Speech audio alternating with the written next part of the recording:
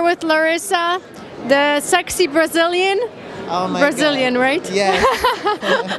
I was thinking, okay, sh- tell me how you feel. It's the day before the um, the prejudging, and uh, was a long year. You did really well at the Arnold's. How do you feel about this show? Um, I feel really good. I feel the same I was feeling the Arnold. You know, I did my best. So let's see. Did you do any shows since the Arnold's? no, no. I just was waiting to do to do Olympia. Any changes since the Arnold's? What kind of like training or anything? Any- No, I keep doing the same. You know, uh, what is the same?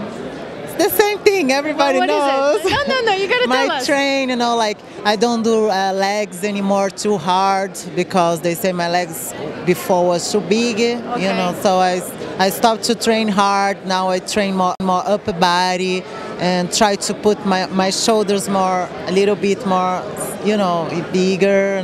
How about cardio? cardio? The same, the same. 45 minutes. What kind of diet are you doing? Uh, I do. Uh, I think is what everybody does. See, no, everybody more likes- high There's protein. high fat, there's yes, more low high, fat, there's high, high protein, and less carbs.